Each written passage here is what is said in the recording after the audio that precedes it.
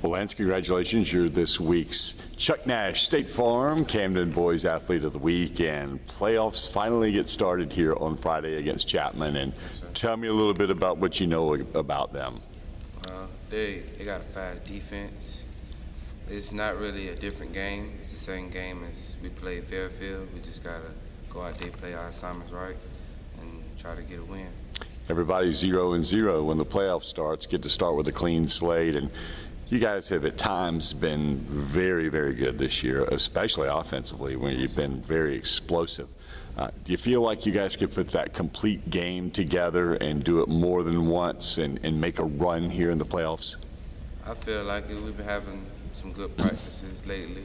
You know, everybody has that mentality. It's playoff season. You just got to win.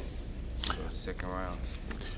Does it feel different, you know, being playoffs? Can you tell that because now is when it really matters? Because if you lose, the season's over with. Is there a different, kind of a more, you know, urgent and uh, serious, you know, nature around practice? It's uh, practice. Coach Neal he doesn't play anymore.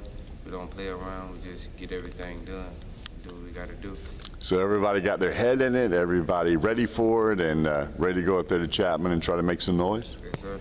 All right, well, keep doing what you're doing, man. Great year at tailback this year.